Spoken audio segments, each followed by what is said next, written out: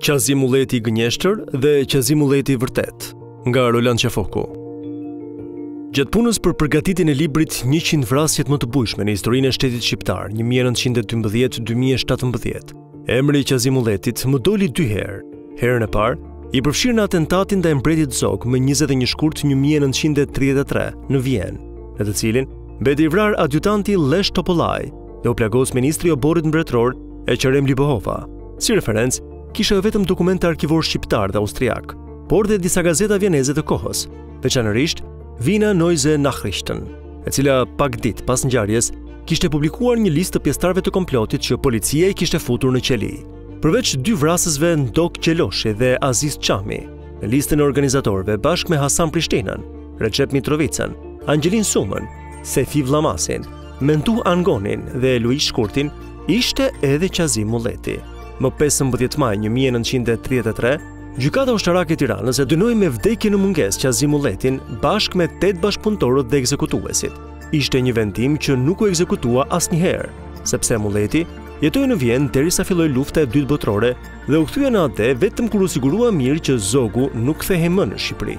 Në vrasjen e dytë më rezultoi i përfshirë në vrasjen e Mine Pezës, më dymbëdhjetë shtator një mijë e nëntëqind e dyzet e dy në Tiranë, para burgut të Tiranës. Prefekti Qazim Mulleti ishte ai që urdhëroi hapjen e zjarrit në ajër për rojet si reagim ndaj një grupi grash që ishin të revoltuara aty dhe thërrisnin Lironi djemtë tanë. Një plumb që bëri rikoshet në murin e burgut plagosi 70 vjeçaren Mine Bilali Peza nga Ndroqi i Tiranës dhe pas dërgimit në spital vdiq nga plaga e marrë. Ndërkohë që po nga plumbat rikoshet, mbetën të plagosur edhe dy xhandarë, mes tyre edhe ndihmësi i prefektit Mulleti. Në asnjë rast nuk vërtetohet se protesta më e guximshme në Shqipëri e 60 grave, kryesisht nga fshatrat e Tiranës dhe që kërkonin lirimin e djemve të tyre të arrestuar, ishte organizuar nga komunistët. Mine Peza nuk ishte as komuniste dhe as nuk ishte as ndonjë lidhje me komunistët. Por sot, ajo që dikur quhej rruga e Shkodrës dhe rruga e Princit të Piemontit, mban të çimentuar emrin e saj. Edhe për ngjarjen e dytë, Qazim Mulleti u dënua me vdekje në mungesë. I larguar pas tetorit 1944 nga Shqipëria, emri i ish prefektit dhe ish kryebashkiakut u vendos në listën e kriminelëve të luftës dhe kërkohej me qiri nga regjimi i Enver Hoxhës për ta ekzekutuar. Por edhe ky vendim nuk u ekzekutua asnjëherë. Qazim Mulleti u largua drejt Italisë sapo përfundoi lufta dhe vdiq në një provincë të Romës në 28 gusht të vitit 1956, në moshën 63 vjeçare, duke lënë në Shqipëri bashkëshorten dhe djalin e vetëm. Pra, Qazim Mulleti ishte antizogist ekstrem, ashtu siç ishte Enver Hoxha dhe regjimi i tij pas lufte. Për atë që i bëri Ahmet Zogut në Vjenë, ai ishte një hero për kundërshtarët. Por Qazim Mulleti ishte antikomunist, po ekstrem siç ishte Ahmet Zogu. Në dallim me rastin e parë, në ngjarjen e dytë, prefekti i Tiranës nën pushtimin italian zyrtarisht ishte profashist. Hajde ta ndajë shqiptari i vitit 2021 se çfarë ishte Qazim Mulleti i vitit 1933 dhe Qazim Mulleti i vitit 1942. E vështirë, shumë madje. Në rastin e parë, një hero fanolist që deri në Vjenë synoi të eliminonte Zogun. Në rastin e dytë, një bashkëpunëtor me fashistët, shqiptari që kishte luftuar me armë në dorë kundër forcave serbe. Pjesëmarrës aktiv në ngritjen e flamurit në Tiranë më 26 nëntor 1912, pjesëmarrës në Kongresin e Lushnjes në 1920-ën dhe tironsi që hapi shtëpinë e vet për qeverinë e Sulejman Delvinës, duke e kthyer në Ministri të Bujqësisë, në tallazet e Shqipërisë, befas u shndërrua në një personazh me dilemën se çfarë përfaqëson ai për historinë. Por Çfarë ishte në të vërtetë Qazim Mulleti? A ishte hero, tradhtar, antizogist, patriot, antishqiptar, fashist, antikomunist, atdhetar, administrator i mirë lokal apo kriminel lufte? Zor se në botën e kohës që jetoi të ketë një personazh që mori mbi kurriz të gjitha këto epitete dhe sharje sa mori Qazim Mulleti, në të gjallë dhe në të vdekur. E pavarësisht kësaj epitetnaje, dilemat për të nuk mbarojnë këtu. Komedia që e denigroi rëndë. Në vitin 1974, në artin komunist, ndodhi një ngjarje që konvergjoi në një figurë të vetme Qazim Mulletin. Në teatrin kombëtar dhe më pas në një ekranizim, u vu në skenë komedia me titull Prefekti, që e portretizoi figurën e Mulletit, ashtu siç regjimi komunist dëshironte që ajo të ishte, dhe jo siç ishte në të vërtetë. Asnjëherë nuk e kam arritur të kuptoj autorin Besim Levonja për atë produkt të tij. Më shumë kam prirjen se vepra Kishte bashkëautorësi dhe redaktim dogmatik sesa një fantazi e shfrenuar e Levonjës, sado komunist dhe antimulletian të ishte ai. Nuk janë të paktë ata që tregojnë se ndërhyrjet në një vepër arti gjatë regjimit ishin puna më normale që bëhej dhe nuk përjashtohej nga kjo sindrom as prefekti i Levonjës. Megjithatë, për faktin se ajo që i është bërë Qazim Mulletit me emër konkret dhe me një denigrim ekstrem që nuk i është bërë kujt, nuk ka justifikim. Përveçse antikomunist, antikombëtar, tradhtar dhe lloj-lloj epitetesh, Qazim Mulleti, aty dilte i deformuar, injorant, anadullak, i prapambetur, frikacak deri në palcë dhe një figurë që thjesht të shkaktonte humor dhe falë zhargonit aspak zyrtar të të folurit. Pra, nga një figurë nga më të arsimuarat që si rrallëkush kishte në Shqipëri që startonte me gjimnazin Zosimea, i diplomuar në Kolegjin Perandorak të Stambollit, dhe një poliglot po aq i rrallë, Qazim Mulleti u bë sinonim i një regjimi të shkuar që të krijonte impresionin se ishte fati ynë i madh që e kishim lënë pas. Për ata që nuk e njihnin fare Qazim Mulletin, kjo komedi ishte një ilaç idiot për shpirtin e sëmurë se sa mirë jetonin në komunizëm që kishte përmbysur të vjetrën, injorancën dhe antishqiptarizmin. Por ama për ata që e njihnin figurën e tij, nën zë edhe me zë, e dinin mirë se ajo komedi ishte një turp letrar dhe kombëtar së bashku. Komedia Prefekti e trazoi shpirtin e Qazim Mulletit, por edhe të shumë familjarëve që lanë në Shqipëri. Pse jo, Edhe të tironësve që nuk e njihnin ashtu beun e tyre. Qazim Mulleti jo vetëm nuk e meritonte atë trajtim, por duhet të merrte edhe disa merita për atë që kishte bërë në jetë. Por kur, gjatë komunizmit, as që bëhej fjalë. Pas vitit 1990, publikut iu dha mundësia të njohë pak nga figura e tij dhe media i ka lënë jo pak hapësirë historisë reale në faqet e gazetave. I biri, Reshiti, ka qenë pjesë e shumë intervistave dhe ata që e kanë njohur nga afër e kanë mësuar jo vetëm pasurinë shpirtërore të të atit, Por edhe vuajtjet që ai dhe e ëma pësuan nga regjimi për shkak të Qazimit dhe sidomos për shkak të komedisë prefekti. Po a kishte ilaç për të shëruar plagën që ua kishte shkaktuar regjimi komunist? Kurrë nuk mund të kurohej ajo plagë. Përsëri për filmat e diktaturës.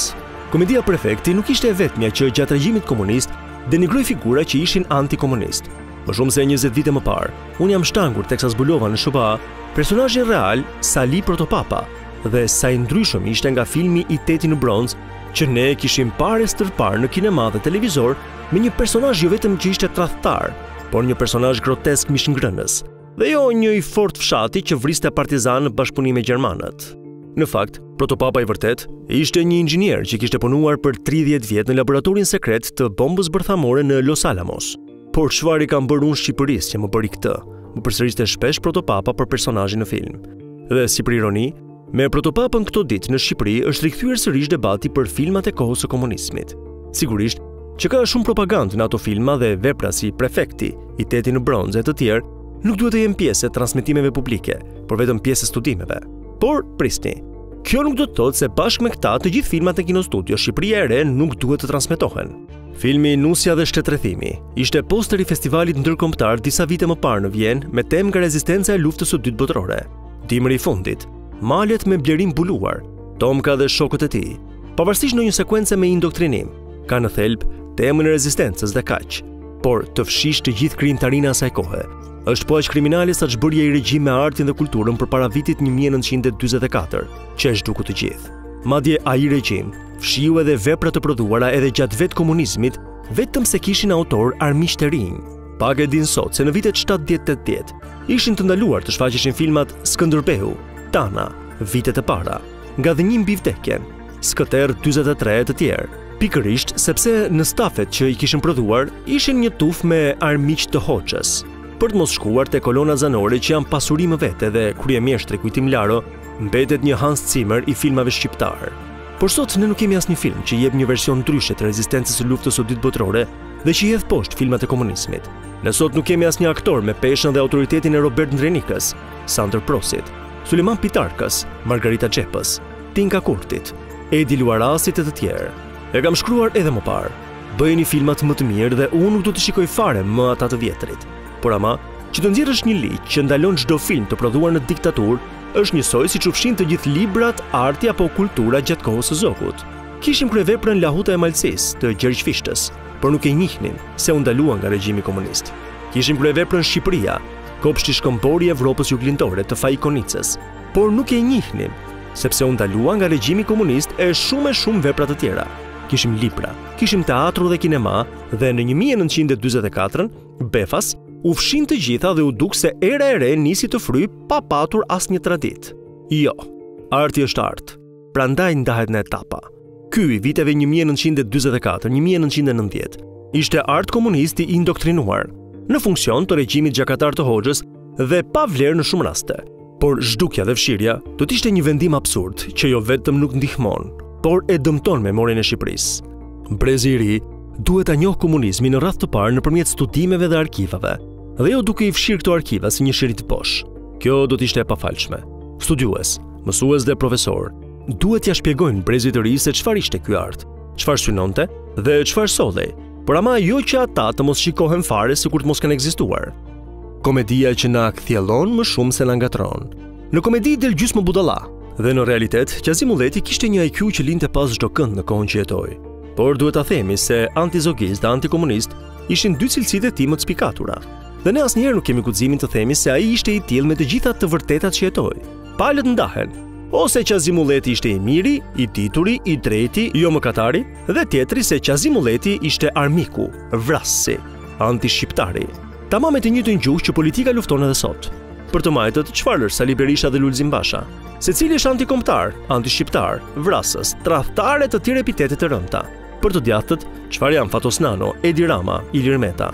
Tradhtar, hajdut, kriminel, antishqiptar, grabitës territoresh dhe të tjera të tjera. E pra, ky është stili dhe metri se si përcaktojnë sot politikanët njëri-tjetrin, duke u kthyer në kulturën tonë, dhe mos prisni që me atë të para një shekulli, duke përfshirë edhe Qazim Mulletin, të ketë metër tjetër. Ai ishte edhe i gënjeshtër edhe i vërtetë, tamam sikur të jetonte edhe sot. Ndërkohë, Teatri Kombëtar kishte disa kohë që kishte nisur nga puna për ta rivënë në skenë Prefektin. Këtu si fillim ka një problem madhor, se pa e parë versionin e ri të 3 milion shqiptarët japin mendim. Hervin Çuli ishte i qartë kur tha se figura e Mulletit në këtë vepër vjen e rishikuar dhe në një version komplet tjetër. Po hajde ta besojnë Çulin dhe aktorët Kur u janë turur i madhe i vogël, si komunistët e pas 44-s Qazim Mulletit. Aktori Arben Derhemi, që rrjedh nga një familje thelb e Tiranës, kishte një reagim akoma dhe më të fortë, teksa me gjuhë ironike komentoi. Unë e di që ne sot jetojmë në botën e internetit dhe rrjetet sociale i kanë dhënë të drejtë çdo qenie intelektuale të sajojë dhe shpifë ç'i intereson dhe i vjen për shtat. Por Nuk i kuptoj ku i ka prekur këta tironsat e vërtetë leximi që ne i bëmë veprës groteske Prefekti në një këndvështrim tjetër dhe për ta evidentuar si figurë historike të madhe. Ju që i bini tamtamit të patriotizmit OJF-ist, meritoni vetëm një batutë me të cilën mbyllet vepra. U ulën malet, u ngritën halet. Por as Çuli dhe as Derhemi nuk e përballojnë dot lukuninë e kritikëve në Facebook. Ndërkohë që Qazim Mulleti ishte ai që ishte, mund ta duash figurën e tij, por edhe mund ta urresh. Por ama dreqi e mori një copë tokë 2 metra katrorë për t'u prehur trupi i tij në Shqipëri, ky njeri e meriton që ç'ke me të. Ata që ulërijnë në Facebook përveç djersës që derdhin çurkë me të shkuarën, është mirë të bëjnë ndonjë punë konkrete me figurën e Qazim Mulletit. Ky shtet nuk e rehabilitoi figurën e tij në këto 31 vjet. Nuk e solli ashtu siç duhet. Dhe ky është një gabim i rëndë. Por së paku, këta intelektualët e Facebookut të grumbullojnë disa para me të ardhurat nga trojet private që japin për gradaçela dhe me to të sjellin eshtrat e tij në Tiranë. Është turp shtetëror, por edhe shoqëror që eshtrat e Qazim Mulletit nuk janë as të futura në tokë, por qëndrojnë prej dekadash në një arkë alumini dhe të vendosur në një depo në varrezat e provincës Rocca di Papa të Romës, ku ai ndërroi jetë 65 vjet më parë. Është minimumi i nderit që duhet t'i bëjnë Qazim Mulletit. Për të gjithë këtë debat që u hap e u mbyll, përgjigjen më të saktë e dha mbesa e tij, Fatbardha Mulleti, me një nënqeshje që duket se i ngjan xhaxhait të vet. Qazimi qesh nga parajsa se si ky vend që përjetoi pesëdhjetë vjet komunizmin kërkon ta denigrojë përsëri figurën e tij.